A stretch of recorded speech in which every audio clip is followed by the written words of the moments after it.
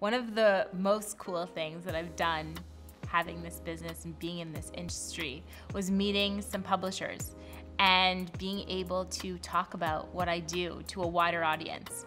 And a couple years ago, I found a publisher who was interested in having me write a book on post conviction travel to Canada.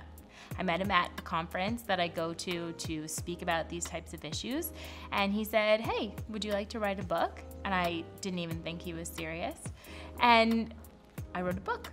And now we're in our second edition. It's available on Amazon. The book is really designed for criminal defense attorneys, which explains the consequences of a conviction on travel to Canada or immigration to Canada.